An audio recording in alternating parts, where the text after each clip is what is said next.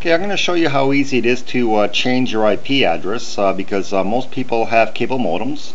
You got one of these from your cable company and uh, they don't allow you to change your IP address because it's a DHCP release. So every five or six days it uh, will give you a new one. Um, but most people don't even care about that. But if you're working on the internet a lot, then uh, you sometimes require that your IP address has to be changed. So here you go with this uh, box, uh, this is the one that uh, comes directly from your wall and your cable goes in here.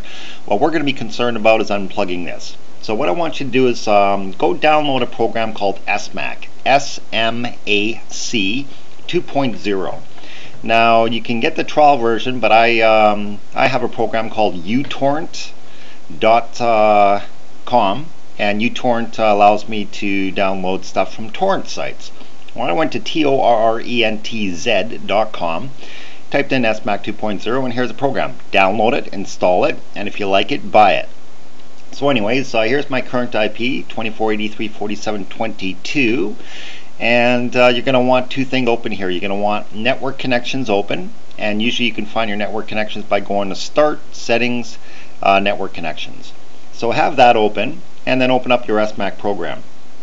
Once your SMAC program is uh, open, just go uh, random, hit random a couple of times, and uh, press update MAC address. Now when you're updating your MAC address, um, it'll take a few uh, seconds here. It's going to enable it, uh, disable it, yada yada, and then on the bottom right here, your cable's unplugged now. You'll see that. It's acquiring a new network address. Don't worry about that. Press restart adapter. So it's going to restart your adapter right now, and again, while it's doing that, you're probably going to get on the bottom right here. There it goes. Acquiring network address. Don't worry about that. Now what I want you to do is I want you to unplug your modem, which I'm going to do right now. You can't see me doing this because it's actually physical, so I'm going to unplug my modem and wait about five seconds. And now I'm going to plug it back in. So here I go, I'm plugging it back in and it's telling me all that on the bottom right here. It's saying uh, you just unplugged it, you're trying to plug it back in. And I'm going to go to my network connections now and it's going to say acquiring network address. When it says connected, it's really not. Uh, you got to right click it and go repair. And I want you to do this a couple of times actually. Sometimes it doesn't pick up on the first one. Let's just do it again. Click repair again. And hopefully we have a new IP. Let's go and see if it worked. There we go, brand new IP. Now, if you want to, and uh, that, that's how easy it is by the way, it's really quick.